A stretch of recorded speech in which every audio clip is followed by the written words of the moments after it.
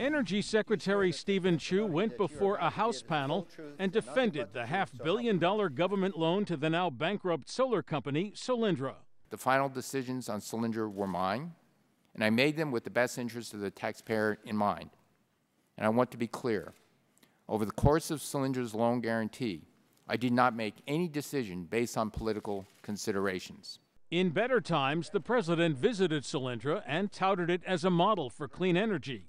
Chu says the White House never contacted him about the loan.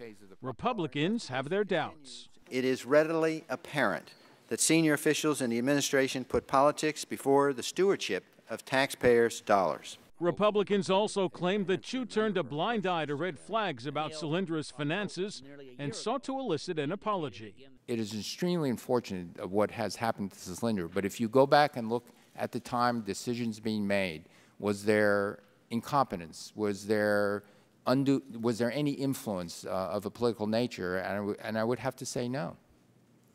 So no apology? Well, it is extremely unfortunate that uh, what has happened to Solyndra, and uh, we, I think you and I both feel the same. That refusal didn't sit well with several Republicans. You've been asked a couple times if there's anybody who ought to apologize. So far, as far as we've been able to get you, is say unfortunate and regrettable. Uh, I have a different view. I would, I would use reckless and grossly mismanaged. Chu says Solyndra simply got caught when the price of solar panels crashed and acknowledged he would not approve the loan again. Certainly, knowing what I know now, we, would say no, but not. But that you don't make decisions. You fast forward two years in the future and then go back. Uh, I wish I could do that. And Chu says that with Solyndra out of business, taxpayers probably will not be able to recover much of the money. Jerry Bodlander, Associated Press, Capitol Hill.